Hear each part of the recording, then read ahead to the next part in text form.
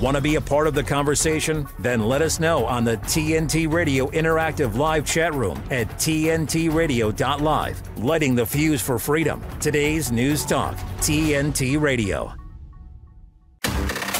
Live from London with Sonia Poulton on today's News Talk, TNT. And we're back, and Janie has got you talking. Of course, it's an incredibly emotive subject voluntary assisted dying. I mean, it just is, isn't it? Let me read you some of the comments. Red said, Would an ended in poverty and destitution be considered good reasons to call it a day? And this is the thing is that there is a great deal of concern. Obviously, there are all these variables, but I have to say, from my position, my position pretty much is I would like to be given that choice. I don't want anybody else to make that choice for me, and I would have deep concerns about what we are hearing in Canada, although Janie was quick to say no, that they're kind of been given a bad rap. But I don't know. Eleanor says, but we're already seeing euthanasia being weaponized against vulnerable people. For example, like in Canada, where people who've had a bad back or can't afford rent are asked to commit assisted suicide when they're already suffering from low confidence and abandonment. Bad back can be fixed, rent can be paid. What's next? They will never make it fair or authentically coming from a suffering person. And of course, there are many issues concerning this. I mean, there's no getting around it, obviously. But I, I do have problems with families being being criminalized when they are trying to help a suffering member of their family. So I suspect that this is a conversation that we need to keep having. And uh, at the moment, I feel that a lot of the conversation has been very much from the assisted assisted dying perspective because obviously when you have celebrities and personalities like Esther Rantzen who seem to be completely pro it and then getting on board people like Keir Starmer it takes it into a different dimension. But people need to be able to speak out and speak up and say actually we have great concerns that so-called useless eaters will just be you know say oh okay well let's get rid of them. That you know that that's a problem. Let's you know and and do that. So this is a conversation we need to continue keep having. And the thing about me as you will know is i believe that for the most part no no conversation should be taboo. We should be talking about things. If you don't talk about things you push them underground and heck we all know what happens then. Things that they'll always come out in a way and never usually positive. You have to be able to converse about something. Now look on that topic let's have a look at some of the headlines. This one has caught my attention today. It's to do with assange and the US Justice Department. They've reportedly been in conversation for a period of time with Assange's legal team. Preliminary talks have been taking place. They're looking for a plea deal, which would mean that Assange would not need to be extradited. It's something that could be done remotely. And uh, I think that's interesting. It's, it would essentially be reduced to a lesser charge of mishandling classified information. And uh, an attorney representing Assange said that. Uh, legal departments have not seen any indication that his legal department rather have not seen any indication that the justice department intends to resolve the case so is this just political behavior who knows but I tend to think that anything that could reduce what Julian Assange is facing is better than nothing, because obviously they're determined to get him one way or another. So we will see how that develops. I think that personally is very interesting. And also, Gemma was talking yesterday about HMRC and how they're shutting the phone lines. Well, lo and behold, they then made an announcement where they actually humiliatingly were forced to drop those plans after Jeremy Hunt intervened, said they'll be halting those plans, admitting more needs to be done to convince the public they are a good idea. And that's the key there, right? So they're these plans aren't done with. They just need to do better PR work because we have people like our Gemma who raises awareness of what's really going on. I think one of the comments yesterday about Gemma was Gemma is the resistance, and indeed she is. Now, talking about craziness, did anybody? Well, of course you didn't, because you've, you've got some discernment. But I was um, I was tagged in this tweet to do with the Jeremy Vine show. The Jeremy Vine, of course, one of the biggest pro lockdown, pro jab proponents out there during COVID. I used to work with Jeremy. I contributed to his show for a good 10 years. We only fell out because I refused to accept that people can be born in the wrong body. And Jeremy had jumped on this whole gender idea. And uh, so we fell out over that. And uh, but one of the things that he said yesterday I, I, think it was yesterday but but it's a it's a it's a recent clip. And uh, his actual quote was this might sound crazy but china does it. We've got to take control of twitter and shut it down for the time being. And thankfully jenny kleeman a journalist fought back and said no, no that isn't the solution. You don't shut down twitter. And this is the thing with people like jeremy vine right? The man is a control freak. We know that. Do you remember that that infamous quote where he sort of um, uh, allowed this idea of what are we to do with people who refuse to be jabbed during COVID? And he was like, well, you know, I mean, what are the what are the sort of choices? I'm paraphrasing him, but this was the gist of it. What are the choices? We either hold them down. No, you don't hold them down. You don't hold anybody down. Jeremy Vine, frankly, I did a a, a, video about him about him being a gatekeeper. He is in my opinion and we're still allowed opinions an absolute danger to society half the time. Got to be careful jeremy vine though because he's very litigious as we all know. And uh, what else? Oh just to say just to hark back very very briefly to this whole kate story. I love the way that they're framing it in the daily mail. Rebecca english a royal reporter absolutely in with the royal family. And she said it's been so heartbreaking for William to see Kate's reputation trashed in the same way as Diana's. Nobody's been trashing Kate's reputation. That's absolutely farcical for her to even suggest that. But again, you can see the way the wind is blowing on this story. And on that note, I'm going to bring Gemma back in for some more UK headlines. It's the stuff. It's that division people are talking about. And that cluelessness that they want to push. Today's News Talk Radio, TNT. Oh, all my birthdays have come at once. I now get Gemma twice a day. How thrilling. Lovely to have you back with us, Gemma.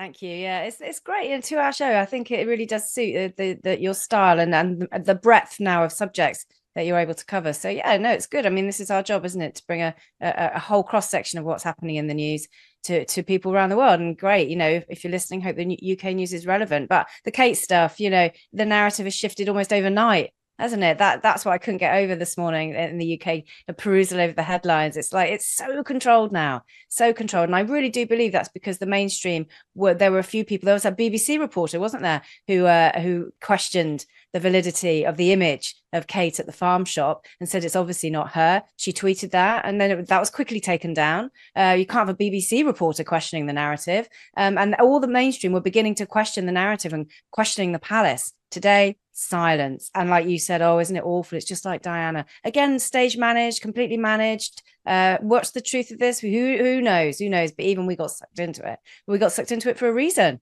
There's clearly something afoot. This story will be back it will be back. It's, oh yes, it will be back. Yeah, yeah. So anyway, um, I have a few other headlines, most of which we touched on in the last hour, but I think the top story that we can discuss now does very much link into the theme of uh, assisted dying, uh, actually in terms of the population control and the, the cost of an aging population. Uh, this is because this long awaited report into potential injustices into millions of women, a generation of women in the UK, is due out today. It's the second and third instalment of a report by the government ombudsman. Uh, campaigners are saying that women born in the 1950s were affected by an increase in retirement age, which they say they weren't told about properly. And it affected millions of women, leaving them destitute, in poverty, unable to find work because they thought they could retire earlier than men. But a law was passed saying that they couldn't. We'll get to that in just a minute. Uh, the Rwanda bill, the ever present Rwanda ping pong, continues between the British House of Lords and House of Commons. The House of Lords last night again voted down the proposals, made seven more changes, which they've now passed back to the House of Commons today to vote on. This is going to go on and on. It's going to cost us even more money uh, and no final resolution, even though Rishi was saying they'll be on the planes by the spring. Well, we're in the spring. Uh, it's never going to happen. Never going to happen. Uh, the UK Foreign Secretary David Cameron is meeting with the Australian PM Anthony Albanese today as part of the annual Australia UK meetup. It comes a day after the UK Defence Secretary and the Australian Defence Minister signed an historic agreement strengthening defence ties between the two countries. And it does look as well like it's set for a general election in the autumn. Uh, one minister today, senior minister, has been speaking out saying you can't just call an election in the spring. You have to waiting for times to be right, or because there's a particular mood. It's definitely an autumn timeframe that we're now looking at, which means Sonia that after the the Easter recess, we will see campaigning stepping up a thousand percent. And there'll be a lot of stories from all sides of the political spectrum that we'll be covering here on TNT. But it's that top story about the pensions, I think, which very much links into uh, the theme of assisted dying. We've got an aging population that the government has to pay for. They don't want to pay for it. And so, isn't it funny? Suddenly, we're seeing themes of assisted dying everywhere in the UK media. Uh, but it's one to discuss, certainly. It is one to discuss. I feel that poor WASPI women have just been so badly let down and so little attention paid to that campaign comparatively compared to obviously other campaigns that exist. And it's almost like they've just been forgotten. It's just like, so what? It's, it, it is horrendous. The unfairness of it is actually quite shocking. Break it down for us, Gemma. Well, basically, this all stems back to a law that was passed way back in the 1990s, actually, uh, 1995. A law was passed by the UK government saying they were going to um, bring in uh, the retirement age uh, of parity from the age 60 for women was was UK retirement age at that point and 65 for men. So in 1995 the government said look we, we are going to raise it we're going to bring it in line because we can't afford the burden on the state purse for the state pension. So this is the pension that everyone in the UK gets once they reach a certain age. It's nothing to do with your own private pension that you might have in the workplace. So then they said we're going to bring it in the parity probably between 2010 and 2020, but more near to 2020. Um, and then the coalition government in 2011 shifted the goalposts and brought it in earlier. So women's retirement ages went up from 60 to 65. And uh, they say the women are saying the WASPIs, the Women Against State Pension Inequality, said they weren't communicated that change quickly enough to make provision. So you had an entire generation of women born in the 1950s, millions of them, t- giving up their jobs at 60 going to claim their state pension and being told, no, the law's been changed. You can't get it till you're 65. And they're like, what? That well, nobody told us. And the government said it did communicate the message, uh, but this is where the report has come in. So it's the Parliamentary and Health Service Ombudsman who's already published the first findings, um, saying that the changes, and they were very critical of the government. They said no, the changes weren't brought in uh, with with enough information for women. The women weren't told properly. Uh, women had left the workforce, and then they couldn't get back into the workforce because they were sixty. So, I mean, sixty year old women are not in demand in the workforce. A generation was plunged into poverty. Since then, this is the interesting bit the retirement age is now 66 for women and men, due to rise to 67 between 2026 and 2028. Clearly, the government doesn't want to pay any pension to anybody. I think this is a very clear message here because they haven't got the money we have an aging population and we have a younger workforce uh, and there's not enough of them to contribute to pay for the generation above them. And the government does know this which is why i think it's very interesting the theme of assisted dying coming out. Anyway campaigners are eagerly waiting with the WASPI campaigners for the second and third installments of the parliamentary and health service ombudsman uh, report today. They can't recommend lawfully compensation but they can recommend one-off payments to women. Uh, and that that happens in the report, this could land the government with billions and billions of pounds that they have to pay out for not communicating these changes sooner. I really feel for the women. I think this is a part of an ongoing war against women, actually, that we talk about in relation to the trans agenda. Uh, I think if this was a generation of men, I don't want to be too controversial, but I think the government might have been a bit more uh, on point with its messaging. And I think it thought, oh, it's only a load of old women. They won't listen. They won't care. They've still got their husbands husbands to support them at that age, but it's not the case. You know, women get divorced now. There are second marriages all around, um, and the women they came back fighting, and the WASPI group are to be commended for this. But we don't know what the report's going to say yet. It might just say nothing to see here, no compensation, no payouts necessary. We'll have to see. But it is a long awaited report into what some are saying is a real miscarriage of, of justice, actually. I, I, agree. I believe it is a miscarriage of justice. This, of course, was all part of David Cameron and George Osborne's uh, fake um, ideological austerity program in which they clamped down. They wanted to reduce the benefit um, burden on the country. And I think it is absolutely obscene to attack pensions because we're talking about people who have put into the system right? They've worked they've they've paid their way and suddenly they're being denied that opportunity of being taken care of a little bit. And let's face it better the the, the amount that people get on pensions state pensions is not great. You're not going to get a life of luxury but they've made it even harder for people. So it's fairly obscene. The fact that david cameron of course has come back round again. Every time i look at him now gemma all i think about is his attacks on sick and disabled people the elderly and i think you can. I that there's that famous expression, obviously, isn't there, where you can tell a lot about a nation the way that they treat their elderly and vulnerable people. And I think that's what it says here. I do believe it's an attack on women. I do have to say that I think if this was an attack on men's pensions, people would be more up in arms. And that's what I say comparatively. We've heard very, very little about it. But I hope that uh, that the right thing is done. Again, personally, as a taxpayer, Gemma, I am more than happy to take care of people who've already contributed to our country.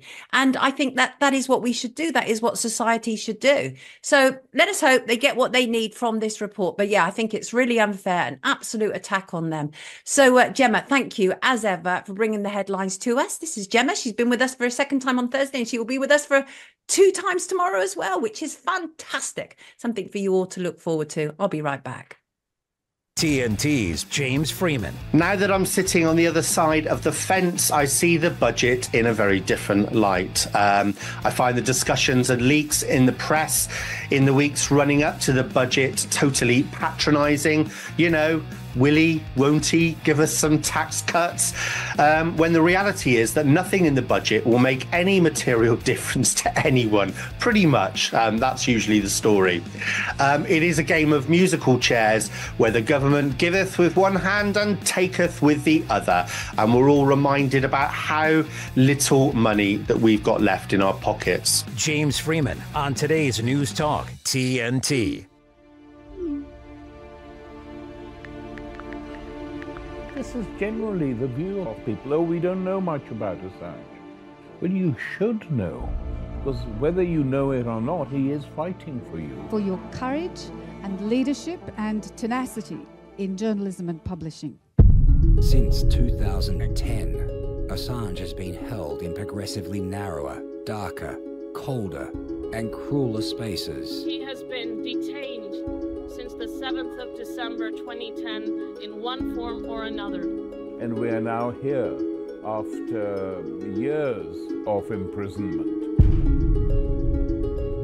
WikiLeaks is a non-state hostile intelligence service. I think the man is a high-tech terrorist. A high-tech terrorist. A traitor, a treasonous. He has to answer for what he has done. Assange faces up to 175 years in prison for publishing classified documents exposing U.S. war crimes. The U.S. government narrative about Julian is a complete fraud. It is a complete fraud from A to Z.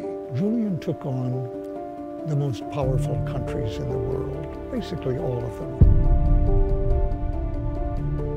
We now have confirmed that there were plans to kidnap Julian here in the center of London or even assassinate him no one who instigated that illegal and immoral war has been brought to justice. But the great truth teller sits behind bars. If wars can be started by lies, peace can be started by truth. Julian Assange is a hero. What if everything we thought we knew about somebody was a lie? Would we be willing to go on a new journey of understanding? This is a story of deception, lies, bravery, and a man who risked everything to bring the truth to light. Mr. Assange shows all the symptoms that are typical for a person that has been exposed to psychological torture over a prolonged period of time. He looked at me intensely and said, I hate to say this. He then hesitated, visibly troubled and searching for words. And then he finally said, Please, save my life. May future generations have the ability to speak without restraint. May our children and their children know truth and have access to information that leads to justice. Wherever Julian goes, free speech goes with him. If there is a bird that is about to take flight, stretch her wings and rule the skies, may it be a peace dove and no longer a bald eagle. If you think Assange is a traitor, he's a rapist, he's a narcissist, he's a hacker, I don't blame you because you have been deceived. And if you think you've not been deceived, that's normal because otherwise it wouldn't be deception.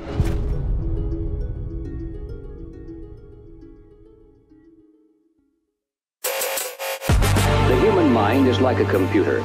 No matter how efficient it may be, its reliability is only as great as the information fed into it. That's a campaign promise. Tell us the truth. Tell us the truth. We mandate that the truth be told. You're hearing it. TNT. Brilliant. Thank you so much. These are so many messages that have just been said in response to what Gemma and I have just been talking about. I have to read them. It's not just us 50s women, it's still rising. Uh, some of you will be 75 before a state pension. It's already going up to 70. Yes, absolutely. It's a diabolical disgrace, Gem, says Mazzy. Um, and, and intruder, I take your point. Can men be compensated for having been discriminated against for so long, re retirement age? That is a fair point, intruder. And uh, and he said men's retirement age went up as well, but no one gives a about them. Well, I do. So, and I did, as I say, I take your point. You know, balance it up. Um, and uh, just a bloke says if the depopulation agenda succeeds, there'll be no one left to pay the pensions. Well, that's a bit of a sobering thought, if uh, true. Um, and uh, loving your program, says Helen. That's not lovely Helen, who I met the other week, is it? And then met at Jam for Freedom before. If it is, she is absolutely glorious, as indeed are you all. I'm very. I'm very honored and fortunate to have incredible people who support and follow my work. And uh, right, let me bring in somebody whom I admire. And uh, she is a journalist. She, from her own words, she she covers world affairs from an on the ground perspective, and she does. And one of the reasons that I admire Vanessa Beeley, for that is who it is, is because she puts her money where her mouth is. She literally gets out there. She's not hiding behind a desk and doing her work. She is there on the front line, as it were. Welcome, Vanessa. Lovely to have you with us today. No, thank you, Sonia. That's so kind of you. No, it's true. It's absolutely true. You are probably one of the most uh, trolled journalists around. And uh, yes, you are. We know that absolutely. and none more so than in recent times, obviously, since the whole October the 7th, which you and I know it didn't all start on October the 7th, but since October the 7th, I've seen you hugely trolled, but you persist, which is absolutely great. And obviously, a huge focus of your work is what has been happening in the Middle East.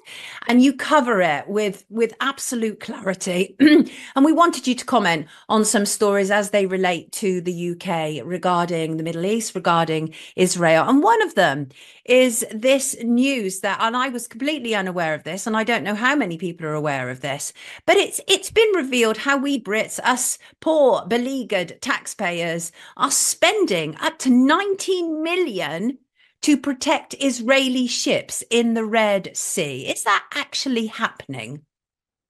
Oh yeah, absolutely. And um, you know this the, the history between Britain and Yemen, of course, goes back um, more than a century because uh, Aden in the south of Yemen was effectively a British colony from 1839 until 1967. Britain has special forces on the ground in Yemen. A lot of people will not be aware of that. In 2015, under uh, Theresa May's government, um, when the war against Yemen started. And by the way, it didn't need to start at all. Jamal Benomar, who was the um, UN envoy at the time, told the UN that Yemen has uh, a, political resolution. Uh, it's forming a coalition government. And a few days later, Saudi Arabia launched its aggression and blockade of uh, millions of Yemeni people, supported, of course, by the British, um, who support the, the, the uh, fugitive president that had already basically outrun his GCC uh, mandate and had fled the country, having resigned. Um, and so Britain in, in 2015 sold almost 3 billion worth of weapons to Saudi Arabia to bomb Yemen. BAE at the time, Philip May, who of course was the husband of Theresa May, was working for an, a, a, company called Capital Group that was a major shareholder in BAE. And guess who had record profit, profits since 2015? BAE on the sale of weapons. So, you know, this is, this is a, a, a constant money laundering program that's feeding money back into the military industrial complex in Britain. And, and the bombing of Yemen now even Britain's involvement in the war in Yemen against Yemen since 2015 is without any mandate. It's without parliamentary mandate and it's without a public mandate yet again. It's actually shocking. Kenny MacAskill, who's a MP for Alba, he said, and I quote him, there's always money to wage war abroad and never funds to fight poverty at home. Never a truer word has been said, right? Listen, let Mm. us just park there a second. Let's go to some news headlines and we will be right back with Vanessa Beeley. Here we go again. All right, let's go. TNT Radio News. Matt Boyland here with your TNT headlines. The first human to have one of Elon Musk's Neuralink computer chips surgically implanted in their brain has shown the world just how the tech works. Israel is reportedly arresting local journalists in Gaza to hide the brutality of its latest raid on the Al Shifa hospital. And there are encouraging reports that the US is considering allowing WikiLeaks founder Julian Assange to plead guilty to a misdemeanor offence to avoid extradition on espionage charges. Globalist agendas, democratic rights at risk, corruption, propaganda. It never stops. For the news and views silenced by the mainstream media, by government and corporations, vote one. TNT Radio. Free speech always has a home here. Stay up to date with the latest live news and current affairs delivered by our lineup of expert commentators and hosts. Listen to TNT Radio anywhere you go. Ask Alexa or Google to play TNT Radio or download the TNT Radio app for free from the App Store or Google Play. Today's News Talk. This is TNT Radio. I'm just uh, here with Vanessa Beeley. And one of the reasons I love talking with Vanessa is she separates fact from fiction, which is always welcome around here. And we were just talking in that brief break about how it is my observation that since October the 7th, the level of awareness and support for uh, Palestine seems to be unprecedented. And a couple of the examples that I'd mentioned to Vanessa was yesterday, for example, University of Bristol students, they used tables and chairs to barricade themselves into campus, campus building. It's a pro-Palestine protest. They say they will remain there until the institution ends its complicity in genocide. And then, of course, there was a protest last night at a London university because they brought in an Israeli soldier. So it seems like people are not having it, Vanessa. Is that is that what you're uh, acknowledging or noticing as well? Yeah, I mean, I think we've got two parallel streams running here. First of all, there's the British regime um, presentation of the narrative of a rise in extremism. Um, and then, of course, uh, this rise in awareness by people, not only in the UK, in the US, um, in the EU, across the world, really. Um, now, my point would be that this is coming at huge sacrifice by the Palestinian people. Um, you know, official figures put uh, the number of deaths, 50% of which are children, since October the 7th at, uh, I think, around 32,000. I would argue that that is much, much higher because we know that the media massages and manipulates figures depending on whose side they're on in any particular conflict or who they're backing. So I would suggest that those numbers are probably double that with all the bodies under the rubble, with the people that have simply disappeared from inside Gaza, etc. Um, so, you know, if you imagine that since 1948, which was when really the ethnic cleansing of Palestinians began in earnest with the Nakba in 1948, which, by the way, was also backed and organized by the British, it was a British general, Orde Wingate, who trained uh, the so called Israeli Defense Forces in how to undermine society, how to basically assassinate community leaders, to, to weaken communities in villages and towns before um, driving them out and, and dispossessing them of their land and preventing their right of return, right? Which is utterly disgusting. Anybody who declares themselves Jewish abroad in America or in Britain has the right now to settle on what was Palestinian land. But Palestinians who were driven out of their own country don't have any right to return. Um, and so, you know, as I said, yes, this awakening, and it is, it's a tsunami of awakening and backlash against, not against Jews, it's a backlash against Zionism, which is in fact a, a secular racist, supremacist, ethnic cleansing entity that has been responsible for continued ethnic cleansing since 1948. And that's what I'm saying. People were not um, responding in such a way to the previous 75 years of, let's say, trickle genocide. Now, because it's been intensified to such an extent, we can't ignore it. And the footage is literally being presented to us video footage, uh, testimony is being presented to us minute by minute, 24 7.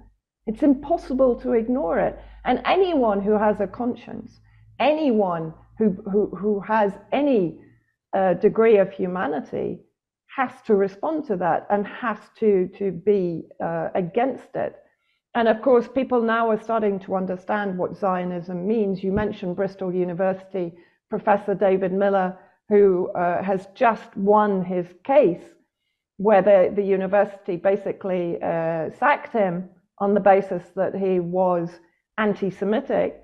And what that case has now done, it, it, it has said that it is legally viable to be against Zionism as a political movement. It's a very important, it's an unprecedented win for people that have been pushing back against what Zionism represents for decades. Um, so, yeah, we are seeing a massive sea change in opinion, in the ability of people to push back against the narrative, and even starting to look at the capture of UK sectors from health to cybersecurity. I urge people to look at the UK Israel 2030 roadmap. You will be horrified at the extent to which Israel will be collaborating on virtually every sector of British society. And it already is, by the way. That legal win is so vital, though, isn't it? Because yeah. obviously we've been lost in a mist for so long where there's been this conflation between if you criticize the Israeli government, then you must automatically be anti Semitic, which in itself is anti Semitic, surely. But I, I, think that is just absolutely vital. But it's the information war that is sent because it was always a given that Israel was, was like winning the information war because of their mm. allies, obviously, in legacy media. But it, it, this pushback is literally, it's just incredible incredible. It's unprecedented because suddenly, as you say, the images are everywhere. We cannot ignore what is taking place now. It was very easy. And also, one of the things that we've obviously also seen in this information war is how much the Zionists have lied about things. I think the baby story, you remember at the beginning after mm. October the 7th, which went all around the world, was promoted by people like Ben Shapiro as one example. And there was no credibility to that story. That was one perfect example but that got destroyed though, Vanessa, whereas that would have just continued unabated previously. Mm. Suddenly we've entered a new era where that, that's not happening. There are young people on TikTok who are looking at the Balfour Declaration. you know, this is practically unheard of, isn't it? But but but talk to me some more about that because we've about the conflation of um, um, anti-Semitism and Zionism because people have been caught in that political parties have been caught in that. Look what happened with Labour. Do you believe that what happened to Labour was just sort of um, was was manipulated and manufactured?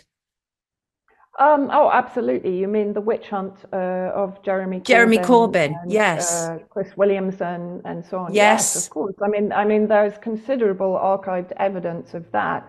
That the Zionist lobby was working to basically bring him down right? Um, now, I do also think that Corbyn um, didn't take enough of a stand. He didn't uh, reject the IHRA um, uh, anti-Semitism, uh, oh, yeah. you know, um, description, etc. He, to a degree, betrayed his colleague Chris Williamson um, over his anti-Zionist views, etc. So, but nevertheless, yes, there there was definitely an orchestrated witch hunt and you know, you only have to look at, at the percentage of Labour Party and Conservative Party that are so-called friends of Israel. You're talking around 70%. And if you look at the fact that even Keir Starmer, his campaign, he received funding, I think it was £50,000 from Trevor Chinn, who is basically embedded in almost every pro Zionist lobby operating inside the UK.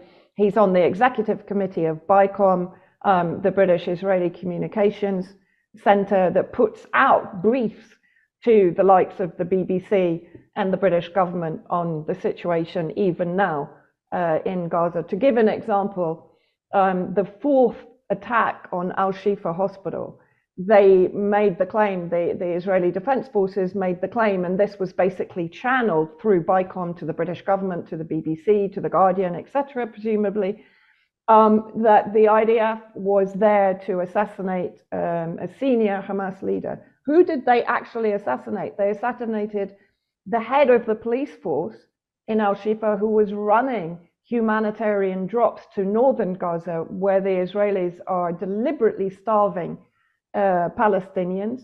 And they shot him because what are they doing? They're destroying societal order, just as they did in 1948 during the Nakba, right? But this is not talked about in British media. This, this complexity and context is never presented to audiences in British media. And thank God people are now starting to go and look at the history for themselves. I mean, I think Peter sums this up really. Vanessa has done great work in raising awareness of what is really going on in the Middle East. I've learned a huge amount from her discussions and interviews. And you have just been there. You've, you know, you've, you've been unrelenting, frankly, and thank goodness for you. And uh, Eleanor says 100% Zionist thought and politics has created perhaps the most powerful level of destruction all over the world. That's quite a statement. I'm not sure. Do, uh, do you agree with that? Absolutely um, the, the majority of Western media, legacy media, is owned uh, either entirely or in part by uh, Zionist sympathizers. As I said, if you look at British industry, we now have the UK Israel Tech Hub that was established about 10 years ago, um, that is now basically capturing British industry and forcing it, not forcing it, but incentivizing it into collaboration with Israeli tech. And the majority right. of Israeli tech startups come from Unit 8200, which is a Zionist spy agency that has established, for example, the likes of the Hebron smart city, um, completely invasive, intrusive surveillance systems, etc. And now that is being adopted into UK security, surveillance, cyber, healthcare, I mean, it's terrifying. Uh, Israel had the most aggressive vaccine policy, for example. Yes, indeed. Listen, Vanessa, thank you so much for joining us this morning. We truly appreciate your work, everybody. This is Vanessa Beeley. She's journalist and she has an attitude about Middle East injustice. and clearly she doesn't Definitely. give a toss what anybody thinks about it. And so say all of us. Thank you so much, Vanessa. Take excellent care of yourself. We'll be right back. Thank you. From weather and traffic reports to news of political developments. We turn to journalists for the information we need to live our daily lives. Journalists around the world provide news that is essential for democracy, for personal freedom, and for safety and stability. Yet their ability to report freely and safely is under attack like never before. Too many journalists are paying with their lives. They faced exponential risks and they've already paid a heavy toll. Death threats, online harassment, and physical attacks are becoming a daily experience of journalists in all countries. We just want people to be safe, to be able to get our readers the information that they need to make informed decisions. They checked my phone and realized that it was Pegasus. I feel myself like I'm naked at the street. These charges were politicized from the start. Facts win. Truth wins. Justice wins. C'est énorme pour moi d'être là, d'être libre, surtout que je ne m'y attendais pas du tout. Stand with a free press. Stand with journalists whose reporting won't be silenced press freedom is your freedom.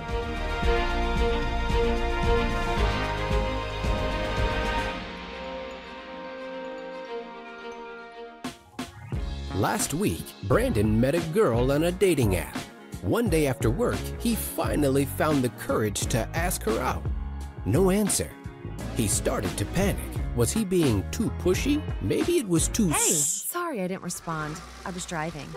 I would love to go on a date. How does tonight sound?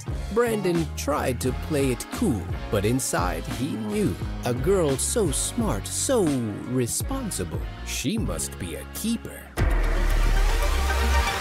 The conversation continues with Sonia Poulton on today's News Talk, TNT.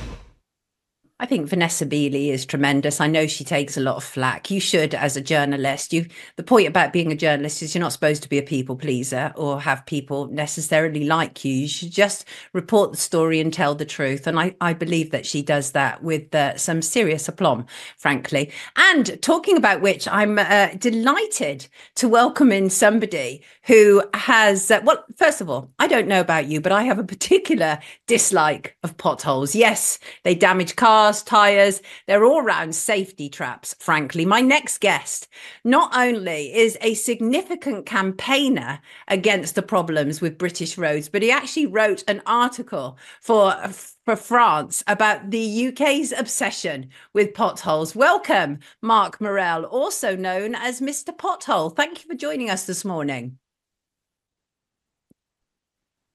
Oh, good morning. Yes, the media's give me that name, so I have to run with it.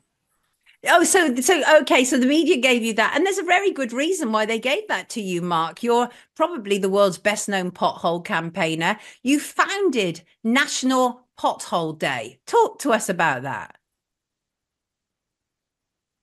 I mean, the idea of that was uh, the frustration that uh, every uh, road user and the members of the public uh, were fed up. And I thought, well, I had a national day to point out that um, just how bad our roads are. Um, I started campaigning 11 years ago this month, and uh, you know the roads have got worse and worse. I mean, I've had millions of pounds of resurfacing work carried out. I've issued legal notices on councils.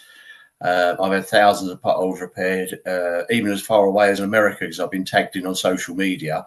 Um, and now National Pothole Day has become well established and recognised uh, throughout. And uh, I've helped loads of people recently get their roads resurfaced by using part of the Highways Act uh, to put a legal notice against their councils. So I had two successes yesterday. You're, you're conducting a public service here, Mark. This is exactly what we need. You're doing the job of councils, frankly. And obviously, on Tuesday, the annual alarm survey came out. It, it, it, talks to us about carriageway maintenance as one example, the backlog of it. But one of the things that is is in that report, and I know that you've talked about, is the fact that our road network is largely 80 years old, when really it should only last for 25 years. What has gone wrong? Yeah, it's decades of underinvestment by successive uh, governments and authorities.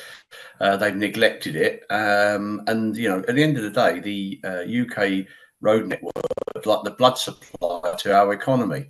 There was a report back in 2010 that said that it was costing the UK economy five billion pounds a year through badly maintained roads.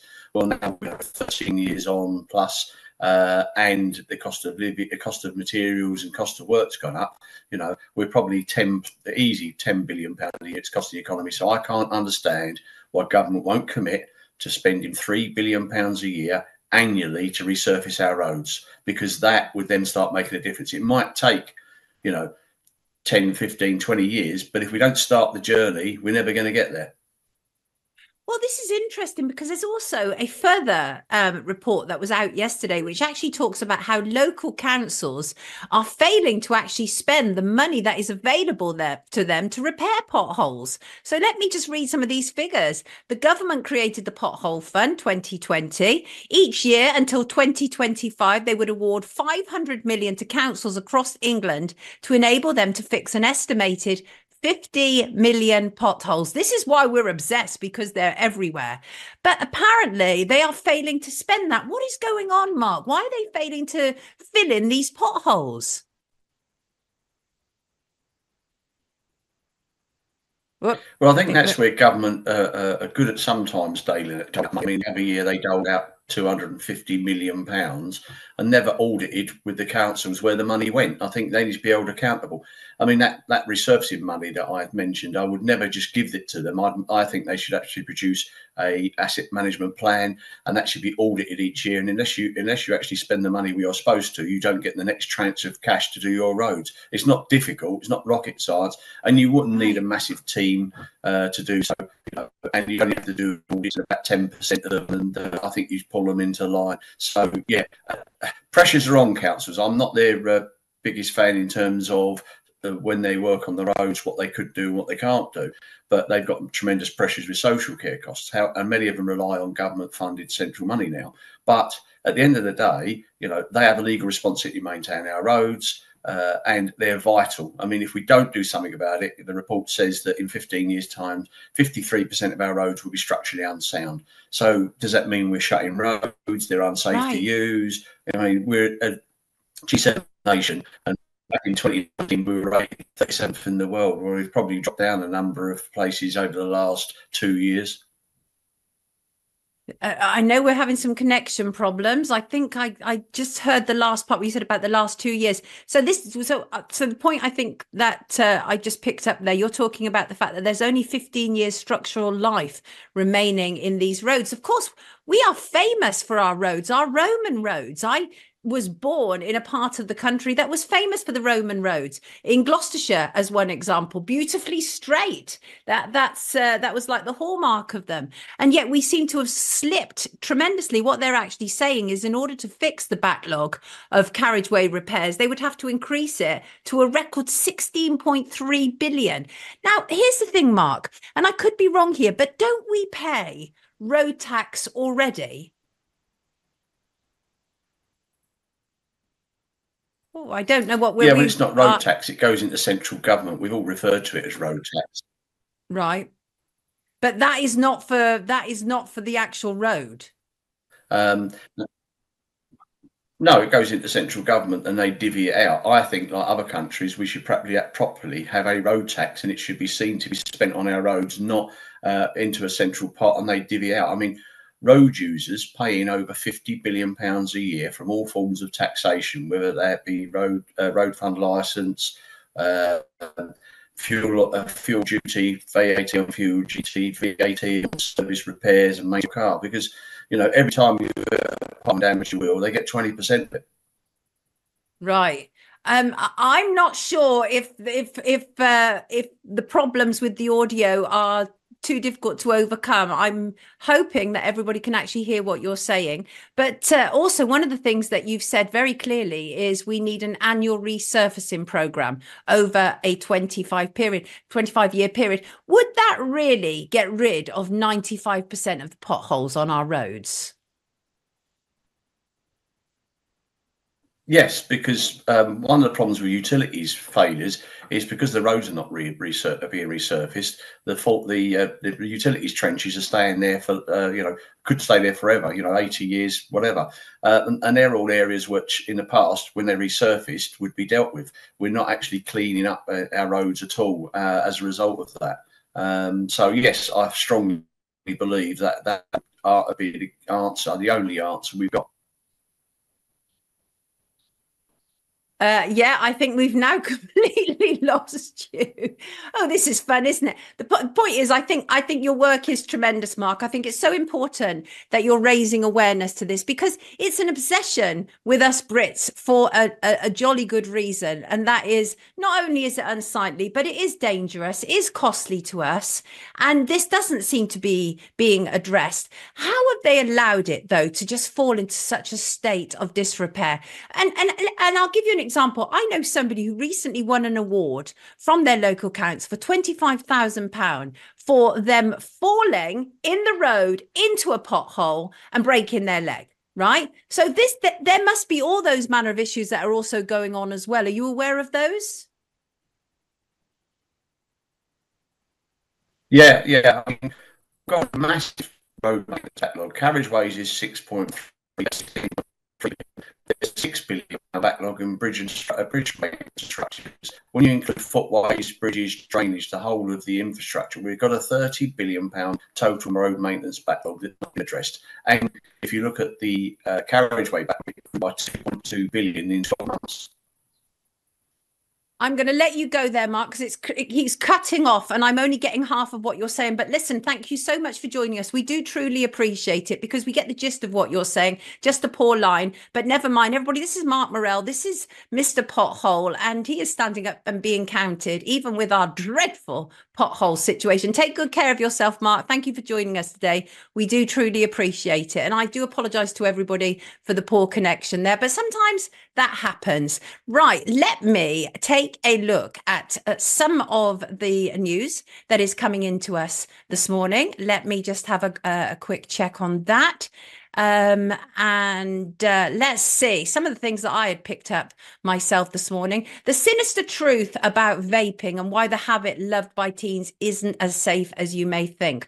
I must bring a video to the show one day, and it's of me on the Alan Titchmarsh show about eight years ago, where I found myself in an argument with actress Joan Collins. And it's because I was saying um, there's something wrong with this vaping. The ingredients in these vapes include petrol. And I can't help but think this is not a safe alternative to smoking. And everybody was like, rubbish. You can tell by the sweet smells that these vapes give off that it's perfectly safe. This is a much more natural alternative to smoking. Sure, it is. Um, anyway, we're, we're getting one report after another, multiple multiple studies now are now raising the alarm about the health risks attached to vaping. And I'm really sorry to have to say that because I know many, many people.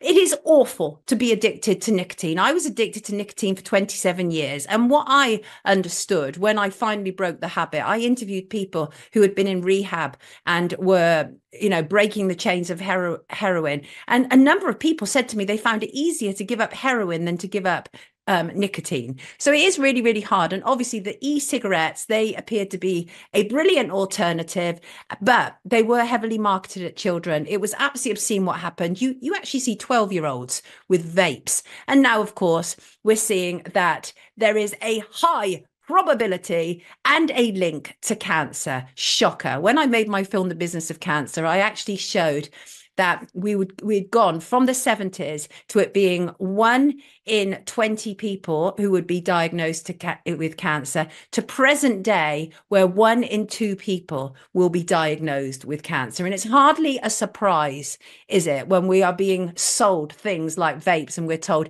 this is a safe alternative. This will help you kick the habit. And of course it, it doesn't. I mean it just simply doesn't. Now look i just want to say again thank you so much to all of my wonderful guests for joining me today. Let's do a quick roundup on uh, any of the comments that are coming in on all of our various social media platforms.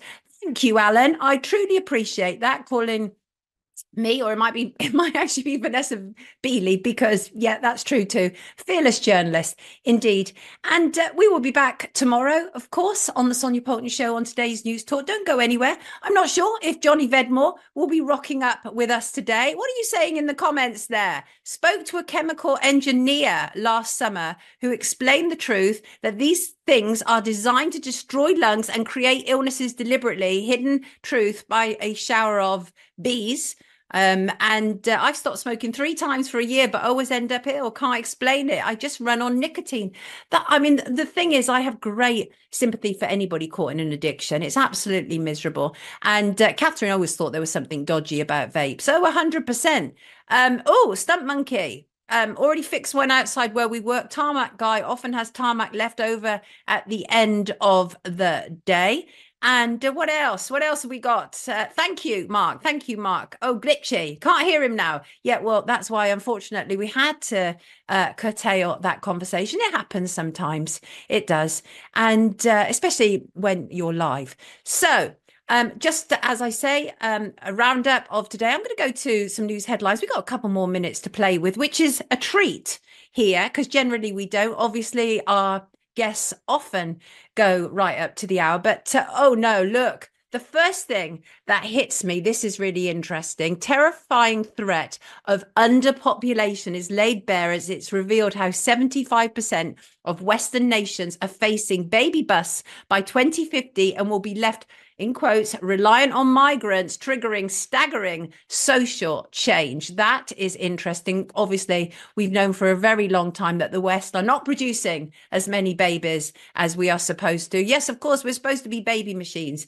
I mean, the reality is, whoever said that there was a perfect amount of people that should inhabit this earth. Oh, of course, it was the whole depopulation program. People like um, many people believe that the Georgia Guidestones, incidentally, when it said about you know living in, in perpetuity and living in perfect harmony with nature, they believe that the amount given there was what the sort of overlords had decided was the perfect amount of people that we should have living in this world. Well, I say that people should be able to have babies if they want and if they don't want. There's this this kind of force on us. You know what they do in China where they have a two baby limit. I just find that really obscene. It's like what has happened to our world where we have all of these people who keep telling us what we can and can't do. Have babies, don't have babies, right? Fall in love with your neighbor. Don't fall in love with your neighbor. We need more freedom. Hidden says, when they seek cures, we will give them more poison. Thank you, Teresa. We truly appreciate that. We always appreciate that. Thank you to everybody for being here today. All of my wonderful guests. We will, of course, be back tomorrow.